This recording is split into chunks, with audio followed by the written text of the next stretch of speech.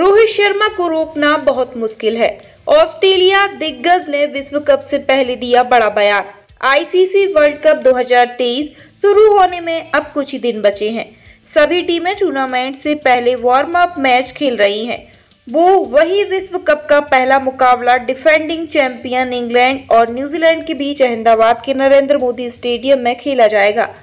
भारतीय cricket team अपने अभियान की शुरुआत 8 अक्टूबर को चेन्नई में ऑस्ट्रेलिया के खिलाफ करेगी।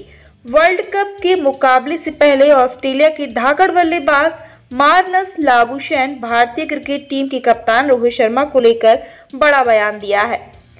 बातचीत करते हुए लाबुशैन ने कहा है, रोहित ऐसे खिलाड़ी हैं जो बिना कोई जोखिम उठाए तेज़ी से रन बनाने की काबिलियत रखते हैं। एक बार जब वे अपनी लय प्राप्त कर लेते हैं तो उन्हें रोकना बहुत मुश्किल हो जाता है।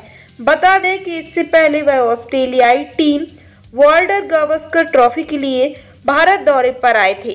तो उस समय भी मार्शल ने रोहित की काफ़ी प्रशंसा की थी और कहा था कि जितना संभव होगा, वे भारतीय कप्तान की बल्लेबाजी से सीखना चाहेंगे। बता दें कि मौजूदा समय में हिटमैन शानदार फॉर्म में चल रहे हैं। राजकोट में ऑस्ट्रेलिया के खिलाफ हाल ही में तीसरे वनडे मैच में उन्होंने 57 गेंद पर 81 रनों की पारी खेली थी। इससे पहले एशिया कप 2023 में भी वो शानदार लय में दिखाई दिए थे और टूर्नामेंट में तीन अर्धशतक लगाए थे। रोहित शर्मा के बारे में आपका क्या कहना है? हमें कमेंट करके अपनी राय ज़रूर बताएँ। अभी तक आपने हमारे चैनल को सब्सक्राइब नहीं किया है तो जल्दी से सब्सक्राइब कर दें। मिलते हैं नेक्स्ट वीडियो में।